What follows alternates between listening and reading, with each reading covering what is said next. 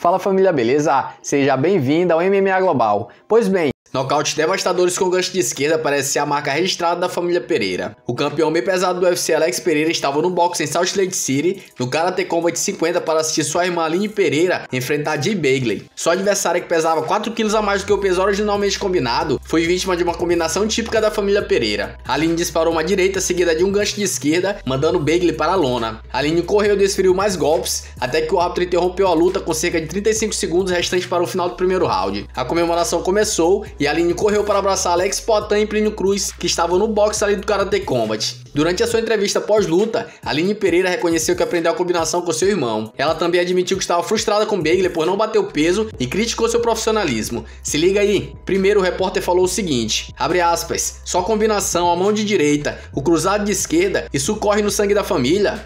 Sim, esse esquerdo é o dos Pereira. Ele me ensinou.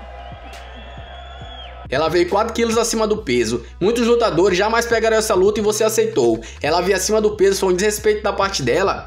Cara, eu achei. Eu achei muita falta de profissionalismo. E ela falou. Primeiro ela veio falando que queria lutar num peso, que não ia conseguir bater. Eu aceitei. E depois ela não bateu o peso de novo. E muitas pessoas estavam falando que eu empurrei ela pra ela descer da caixa. Mas desde o início ela tava me provocando. E hoje eu mostrei para ela que eu não tenho só o sobrenome. Eu sou Pereira no sangue. Seu irmão foi para o UFC e está tendo uma trajetória meteórica. Podemos esperar isso de você aqui no Karate Combat? Podem esperar. Eu quero voltar logo.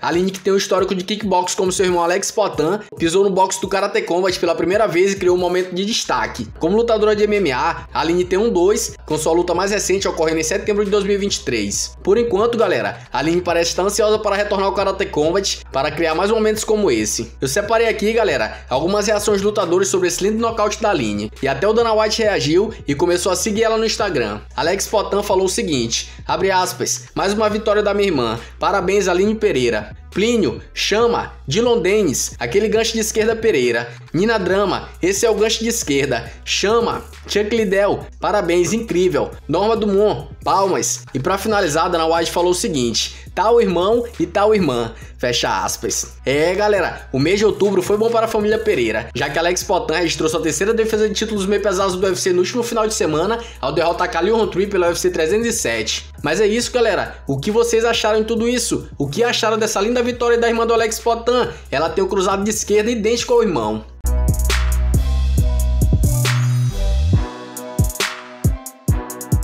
Deixe a opinião de vocês nos comentários abaixo. Por gentileza, se inscrevam no canal, deixem um like, um forte abraço e até mais.